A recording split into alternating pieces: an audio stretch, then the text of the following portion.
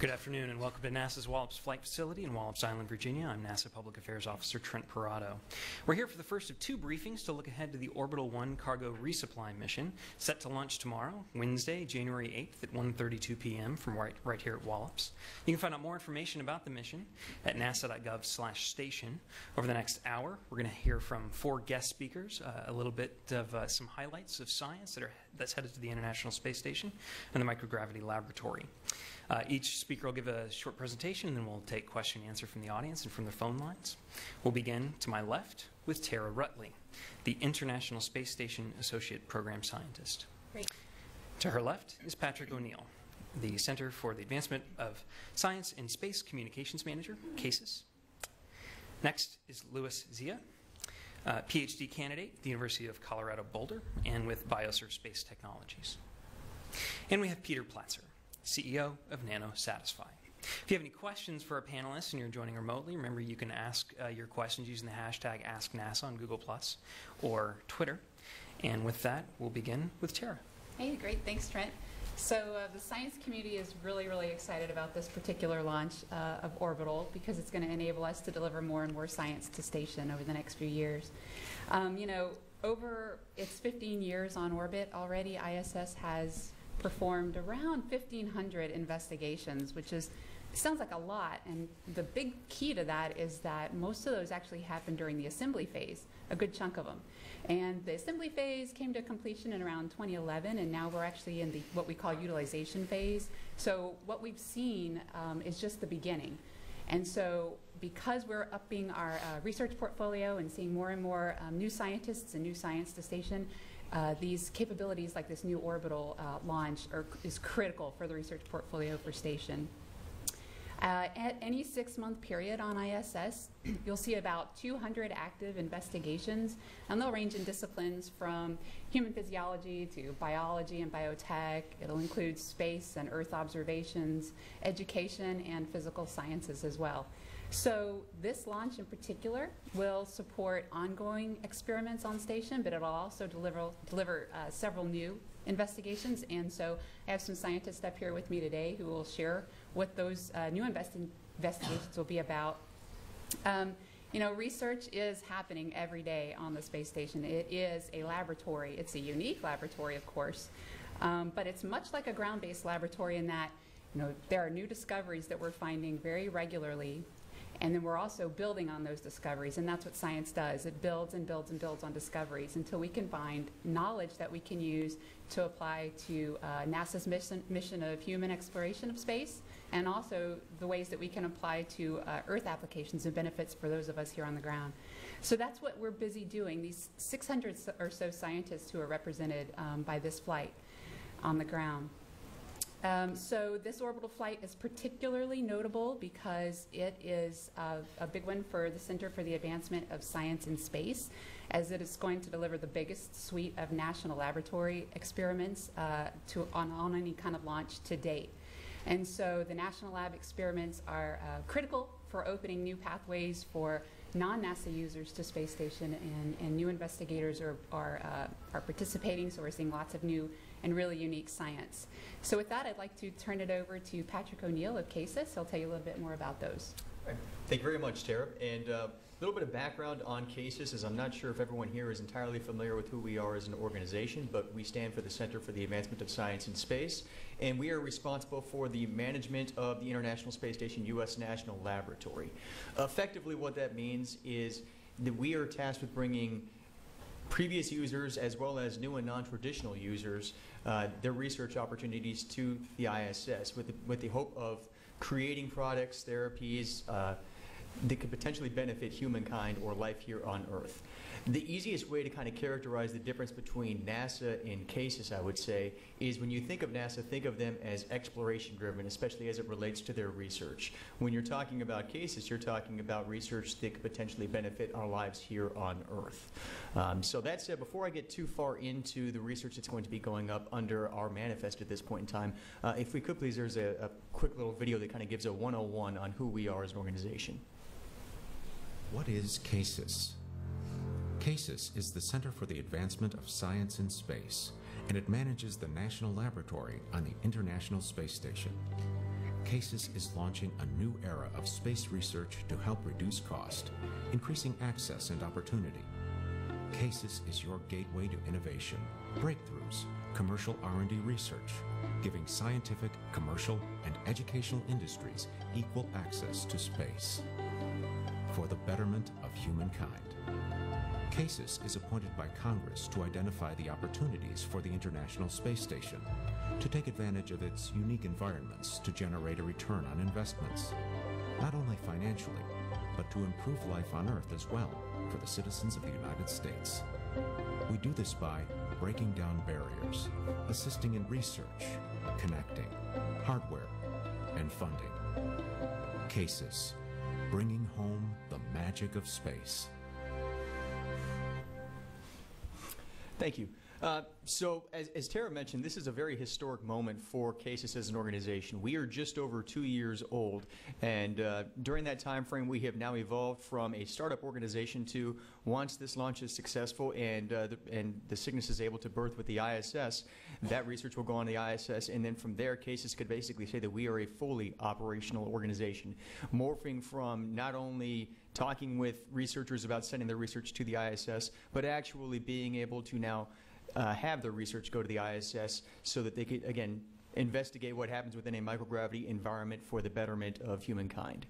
Uh, now, a little bit about the research that's going to be going up under the CASIS manifest, and, and I won't be getting into all of it, uh, and I'm also very helpful to have uh, Luis here from Bioserve, who can also be in a position to talk about some of the research that, uh, that, that CASIS is working alongside them with.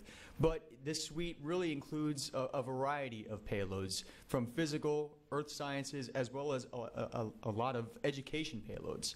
Uh, for instance, we'll be talking about uh, Procter & Gamble. They're working with Zin Technologies, and they will be looking to perform an investigation that, uh, that works with solid liquid mixtures and the thought is that it would help to improve their, their overall product line, which, as most of you are familiar with Procter & Gamble, uh, foams, gels, etc.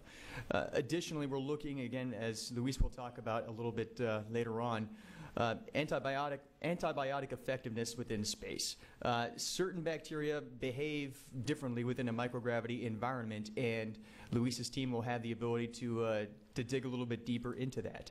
Um, and then from, from just an overall education standpoint, because education is something that CASIS is, is very involved with, especially as we're trying to spark the imagination of the future researchers and engineers of tomorrow. So there is a litany of education payloads that will be go, going up under the CASIS manifest, uh, including uh, Ants in Space, which, uh, which Luis will also be able to talk about. But effectively, what we're talking about with Ants in Space is looking and seeing how ants colonize within a microgravity environment and seeing how that differentiates with those uh, ants that are here on Earth.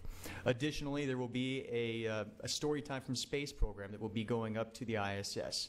Uh, an astronaut will be in a position to read and record themselves reading a book called uh, Max Goes to the ISS by Dr. Jeffrey Bennett. From there, there will hopefully be education curriculum that will be uh, passed down to teachers and to parents, getting their students involved with science uh, and other STEM-related activities. So in general, again, this is this is a very historic time for CASIS. It's one that you know we are incredibly excited about because again, it shows the differentiation between us morphing from a startup organization to now a fully operational organization capable of sending research that uh, could hopefully create groundbreaking innovations to improve all of our lives here on Earth. So we thank NASA for their continued support. We thank Orbital Sciences for their ability to help uh, send our manifests or our suites up to the ISS. So thank you. Now we'll hear from uh, Luis. Thank you, Trent. So Bioserve is flying two different payloads. The first one is AES-1, which stands for Antibiotic Effectiveness in Space 1. And uh, what we're trying to find with this project is identify what genes are expressed and what changes happen in bacterial cells that are allowing them to resist antibiotics. Now, there's two reasons we're doing this. The first one is for space exploration. There are several bacterial phenomena that have been observed in space. One is that it has, it has been seen that bacteria grow to larger numbers. That's one thing. Another thing is that uh, it has also been observed that higher concentrations of antibiotic have been needed to kill bacteria in space. And there's a myriad of, of uh, other phenomena, but really we're focusing on those two and taking advantage of them. And the second reason is the problem on Earth of bacterial drug resistance. According to the National Institutes of Health, between 5 and 10 percent of people that go into hospitals here in the United States are acquiring an infection. And in 1992, uh, it was 10,000 people who were dying every year because of that. In 2012, that number is closer to 100,000. So this is a problem that's increasing significantly, and that's something that we need to address as soon as possible. What we're doing in AES-1 is we're flying E. coli. It's a, it's a strain that is non-pathogenic. It cannot cause disease, and we have flown six several space shuttle flights with this strain. Um, we are also flying two different antibiotics. They have different uh, mechanisms of action. And uh, we have 128 test tubes. If I could have the first slide, the first uh, picture here. And uh, uh, these have four chambers. Uh, there's a solution, a different solution in each chamber, and we're grouping these in, in sets of eight in gaps, which uh, are group activation packs, uh, like this one right here. And uh, so we have 16 of these gaps inside CGBA, which is a commercial generic bioprocessing apparatus that allows us to maintain temperature controlled throughout the life of the experiment. Now, what the astronauts will do is they will use a hand tool just like this one, and they will connect it to the gap, and they crank it. So the cranking motion, what it does, it, it uh, allows for a fluid to go from one chamber to the next. And there are activation lines that tell the astronauts exactly where to crank to.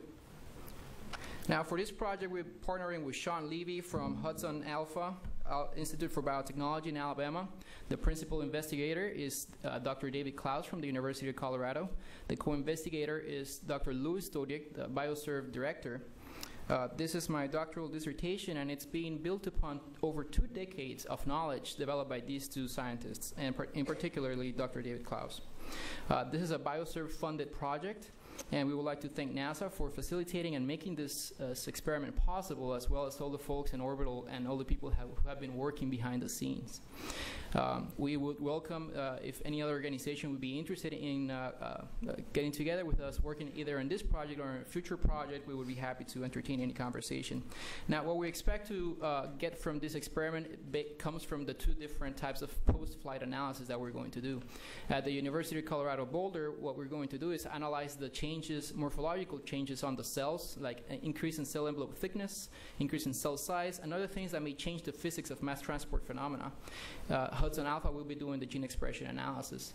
Finally, what we're trying to get with this is uh, just gain more knowledge on how bacteria are acquiring resistance to antibiotics to develop new and better drugs and to help us prepare for long-term space exploration. Uh, the second experiment that we're flying is CSI 06, uh, or Ants in Space. Uh, this one is being sponsored in part by CASIS and the NASA ISS National Lab Education Office. It's based on Dr. Deborah Gordon's research. She's a professor at Stanford, Stanford University. Uh, Stephanie Countryman, BioServe's Education Program Director, is the project manager, and the associate professor at the University of Colorado Denver, Michael Greene, is a research partner. For this experiment, eight habitats are being flown. Each one has 80 uh, ants. If we, if we could have um, this, the picture, please. The, the, the ants that we're flying is the Tetramorium caespitum, which is just com common pavement ant.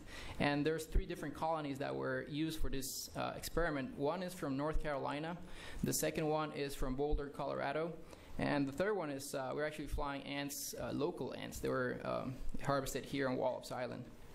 There are three sections in the in the habitat. The first one is the nest, which allows, which gives moisture, water, and nutrients. And then there's this uh, forage area one and forage area two. And between these areas, there are barriers.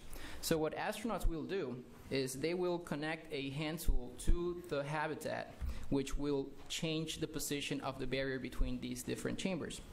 So due to limited time spent within the habitats, this experiment is going to start as soon as possible. So uh, soon after the Cygnus is unloaded, astronauts will go ahead and start the experiment, which really entails of, uh, uh, they will put it inside, uh, they put it in front of HD cameras, if we could have the next picture, please. And that's when the experiment starts. They're going to videotape the ants in the nest for five minutes, then they're going to lower the barrier that connects the nest to the first forage area, and they're going to allow them to move and they're going to record this for 25 minutes. Then they're going to uh, lower the second barrier so they can get to forage area two and record this for 30 minutes. And that's the conclusion of the experiment. Ants will uh, live there for the rest of their natural lives, and the video will be downloaded to Bioserve. Now, the education component of this is designed by